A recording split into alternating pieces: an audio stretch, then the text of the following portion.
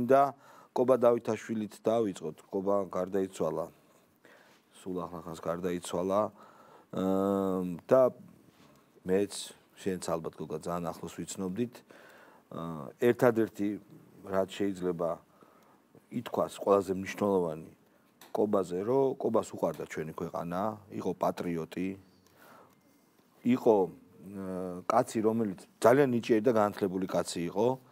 და რაც ძალიან იშვიათია ეხანდელ პოლიტიკოსებში, შეძლო პასუხისმგებლობის თავზე აღება და პირადად, აი პირადად საკუთარი სიცოცხლის რისკის ქვეშაც რაღაც თამამი და ნაბიჯების გადადგმა.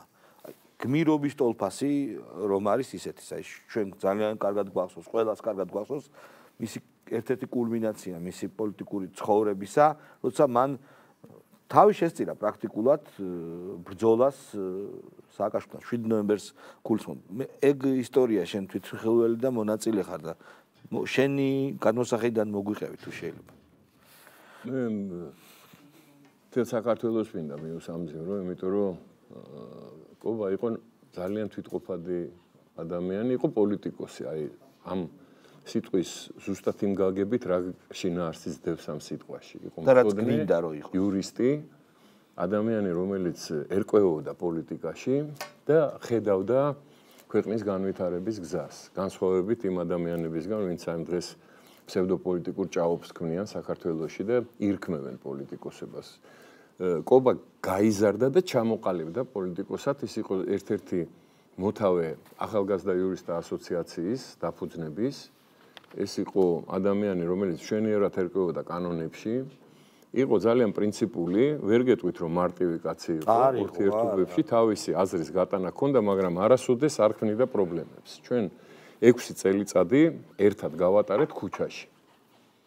და უამრავი რამე გადაგხვდა თავს, უამრავი გაჭირვება გახსოვთ ალბათ, ახლაც ეკრანზე ჩანდა, თქვათ რა სახის რეჟიმთან ჰქონდა საქმე.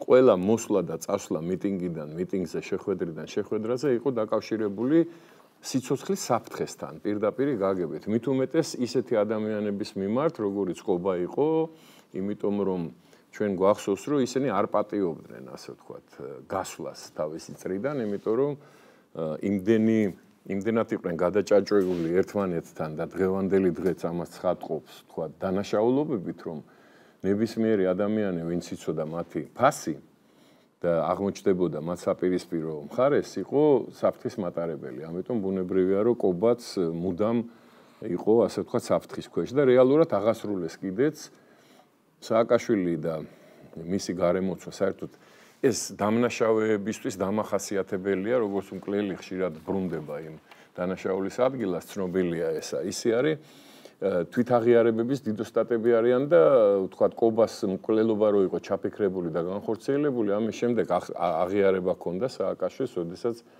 აი ტელესაროსკიპოს ერთ-ერთ ინტერვიუში პირდაპირ თქვა რომ ანუ მერაბეშუმა და ამერიკა ჩინეთში ვიყავიო და მითხევ კობას პრობლემა მოხსნილია კობა აღარ არისო კობა ჩათვალე მკვდარია და არისო ხო მაგათ მართლა ეგონათ რო კობა მკვდარი იყო ჩვენი სამბავი გავარკვიეთ 7 ნოემბერს სხვათა შორის პირდაპირ გამოაცხადა სადმინდის იმიტომ რომ დაგვარბია სასტიკად მოშიმშილეები და კობა მოშიმშილე იყო კობა შიმშილობდა 7 ნოემბერს 2 ნოემბრამდე 5 ნოემბრამდე. ძალიან კარგად მახსოვს ეს კადრი 2 ნოემბრიდან 5 ნოემბრამდე. შიმშილობა იყო ყობა შიმშილობდა და რო დაგვარბიეს და დაავტრიეს და დალეწეს იქ მთელი ჩვენი აპარატურა მერის დასუფთავების სამსახური ნუ ჯერ მოვიდნენ ისინი ყვითლ ყვითლებში ერთი რა საერთოდ და მე აიღო მეგაფონი და გამოაცხადა ხო და აი ხა მე წავალო და კიდე ვიყიდი და მოვიტანო უკანა ხა და იცოდნენ სად მიდიო და იქ დახვდნენ ეს იყო იუსტიციის სამინისტროს და იმ საღჯელასურლების დეპარტამენტის სპეცნაზის თანამშრომლები იყვნენ.